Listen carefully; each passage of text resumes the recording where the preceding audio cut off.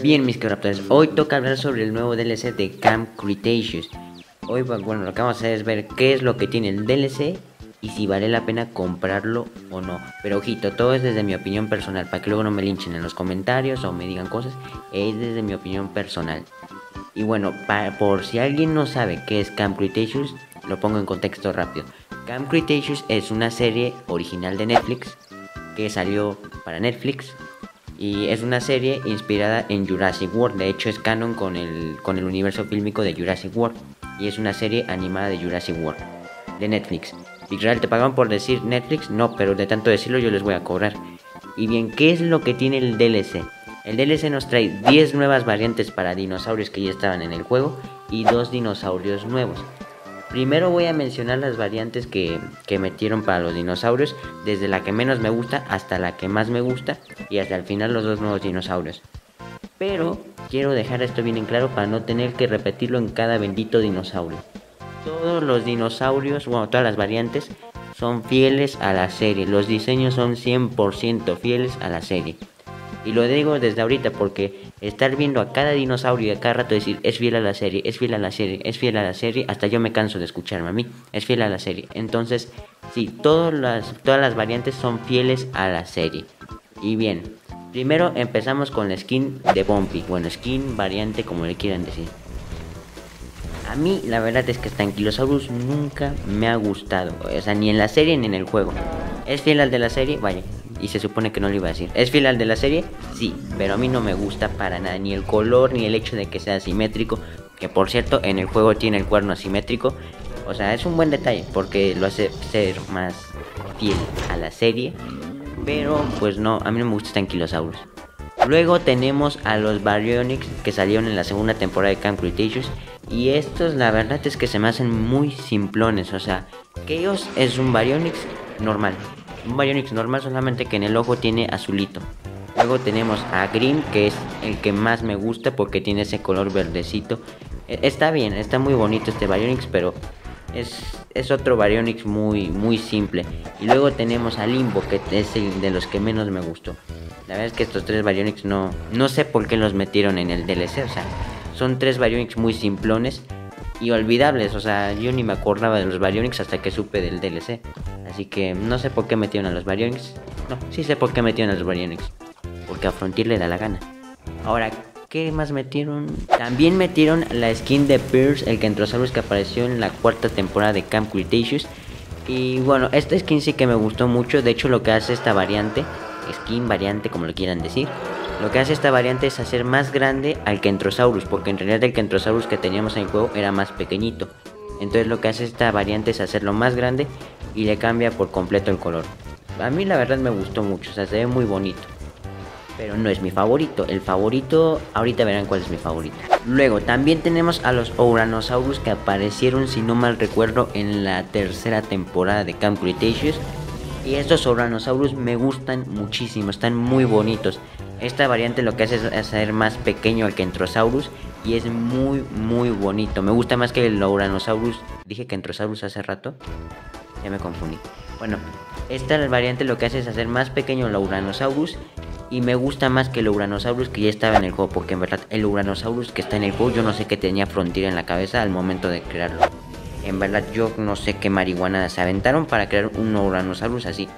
Pero este sí que es muy bonito y la verdad es que vale la pena este Uranosaurus. A mí me gustó mucho. Desventaja, como es una variante no le podemos cambiar ni los patrones ni el color. O sea que ese es el color que va a tener siempre. Es la única desventaja, pero en sí el diseño es muy bonito. Luego tenemos a Big E.T., la Tyrannosaurus Rex que apareció en la última temporada de Camp Cretaceous. Y miren, esta es una Tyrannosaurus Rex normal, solamente que tiene color gris. A ver, que es muy bonito, sí, el diseño es muy bonito, porque ese color gris con el vientre blanco me gusta mucho, o sea, es un contraste muy muy bonito con el dinosaurio. Pero es una, skin normal, o sea, está un poquito, no sé, se me hace muy simplona. En sí es como las skins que ya teníamos de los dinosaurios de Jurassic Park y Delos World, principalmente los dinosaurios de Delos World, solamente que le cambiaron el color a gris. O sea, es muy simplón, pero está bien, o sea, está bonito el dinosaurio Rex. Luego, llegando a mis favoritos, tenemos al Parasaurolophus Lox. Esta criatura me gustó muchísimo. En verdad, el hecho de que brillen en la oscuridad los hace ver preciosos. Y bueno, son dos variantes del Parasaurolophus Lux. Es la variante 1 y la variante 2. La verdad es que a mí me gustó más la variante 1 porque tiene el cuerno ahí, bueno, el cuerno, la cresta ahí brillando de un color celeste precioso, precioso. Estos Parasaurolophus son preciosos durante la noche porque durante el día tienen un color verdoso que no me gusta nada.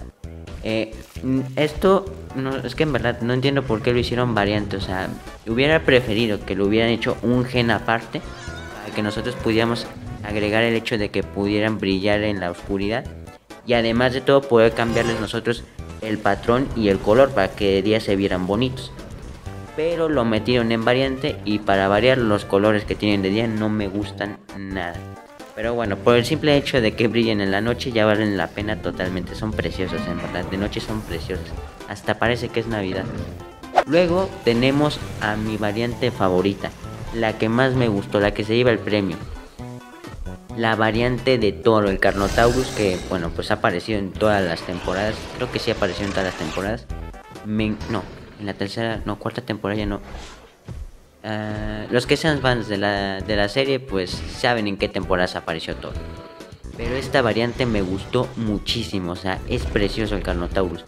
Se parece al de la serie y de hecho todas las variantes que vimos son fieles a las de la serie. Pero es que el Carnotaurus les ha quedado precioso, o sea, tiene unos colores hermosos. Me encantó, el Carnotaurus fue mi favorito de todas. Les quedó perfecto. Y bueno, esas son todas las variantes que tenemos nuevas en el juego. Ahora, vamos con los nuevos dinosaurios. Primero tenemos al Monolophosaurus. Y este Monolophosaurus creo que apareció en la segunda temporada de Camp Cretaceous. Y el diseño, el diseño del dinosaurio, o sea, el modelo, es 100% fiel al del dinosaurio que aparece en la, serie. Es 100% fiel. Y le podemos cambiar los colores, los patrones. De hecho, tiene unos colores y unos patrones preciosos. Si quieren verlos, pueden ir al, al visualizador de especies que está en el juego y ahí pueden ver qué combinaciones pueden hacer con los patrones y los colores que tiene el dinosaurio. Y también viene con una variante de Camp Cretaceous. No entiendo por qué solo metieron una variante si yo recuerdo que en la serie tenían varias variantes. O sea, no, no solo estaba ese Monolophosaurus verde, creo que había uno gris, uno azul y no recuerdo cuántos otros Monolophosaurus. Pero bueno, a Frontier le dio la gana meter solo uno y si a Frontier le da la gana, uno no puede hacer nada. Y ya por último, la guinda del pastel, mi dinosaurio. Lo que más me gustó el del DLC. Esto es lo que más me gustó el DLC. La Scorpius Rex, el híbrido de la serie. En verdad, esta criatura es horriblemente preciosa. Es horrible. Yo me entiendo, yo me entiendo. Y es que en verdad les ha quedado muy bien. El modelo del dinosaurio es fiel totalmente al de la serie. Y tiene unos patrones y unos colores que, madre mía, se lucieron. Se lucieron con esta criatura, se lucieron mucho. Inclusive me gusta mucho cuando sale del laboratorio de creación. Porque la musiquita de tensión, en verdad, creo que es de las, de las animaciones del laboratorio que más me gustan.